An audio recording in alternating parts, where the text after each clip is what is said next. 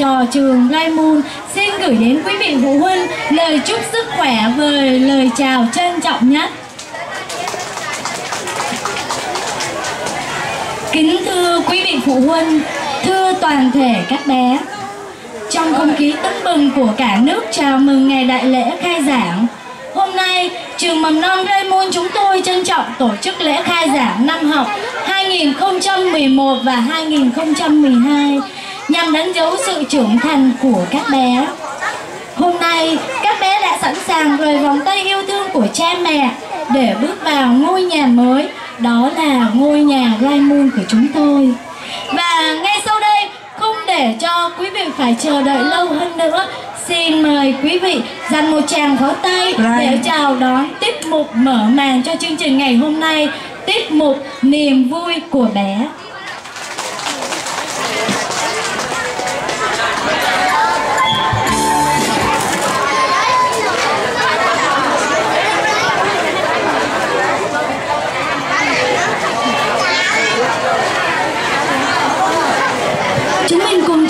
Mẹ của chúng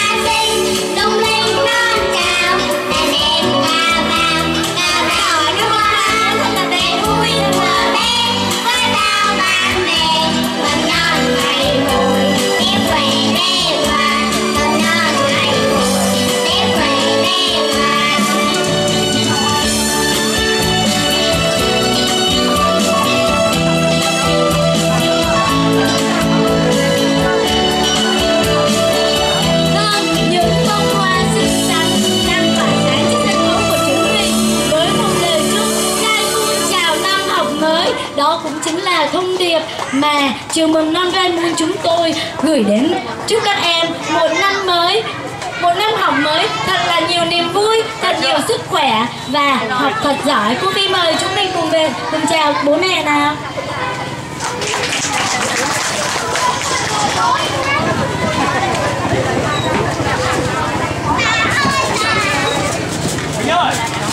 Mình chào Vâng, tiếp theo chương trình chúng tôi xin kính mời quý vị phụ huynh cùng hướng mắt về sân khấu để chào đón một tiết mục rất sức hấp dẫn và rất sức nhẹ nhàng của cô giáo và trò của trường mầm non Raymond biểu diễn. Xin mời quý vị cùng cổ vũ cho tất cả các bạn một tràng vỗ tay qua tiết mục ngày đầu tiên đi học.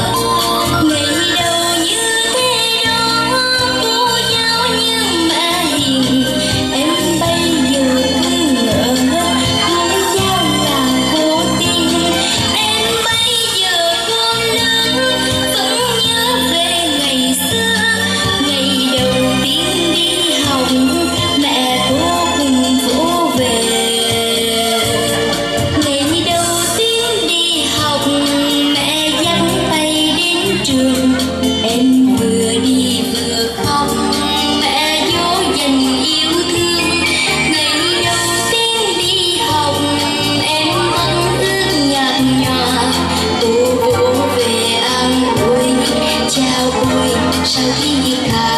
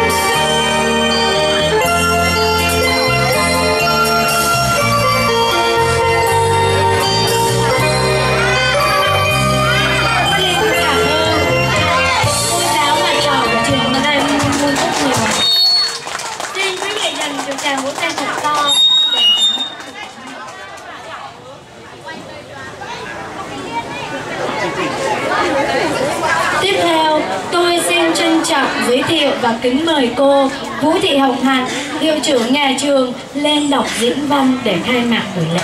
Xin mời cô Hồng Hạnh.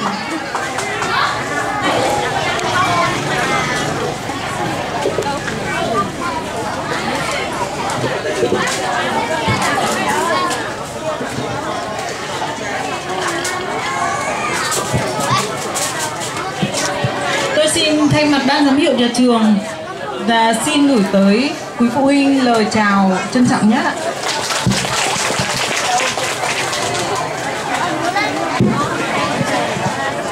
Kính thưa các vị khách quý, các bậc cha mẹ học sinh, các thầy cô giáo cùng toàn thể các bé học sinh yêu quý.